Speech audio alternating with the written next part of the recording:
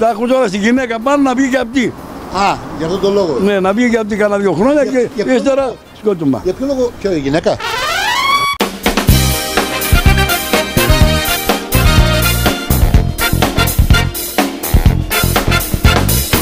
Εσένα όχι Από ούτε το εμένα. εργαλείο το έχουμε. Τι τώρα, τι να λέμε, λόγια να λέμε. Ρε και αυτούς που τους βγαίνουν το, το εργαλείο το έχουν. Εσένα όχι Από ούτε το εμένα. εργαλείο το έχουμε. Τι τώρα, τι να λέμε, λόγια να λέμε. Ρε και αυτούς που τους βγαίνουν το, το εργαλείο το έχουν. Πάμε. Πάμε στο Χριστό τώρα, παιδιά. Πάμε στο Χριστό. Λοιπόν, για ποιο λόγο πήρε το όνομα του Χριστός; Δεν ξέρω. Έτσι και βρεις την εκπομπή και θυμηθείς. Μπράβο, παιδιά, δικός μου είναι τέλος.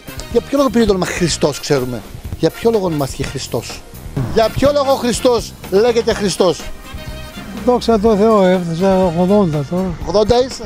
Γερός να πας στα 100. Εγώ θέλω λίγο να περάσω καλά σε αυτή τη ζωή και να φύγω. Κοίταξε, εδώ θα είμαι ειλικρινής και συγγνώμη κιόλας, έχεις το μέσον.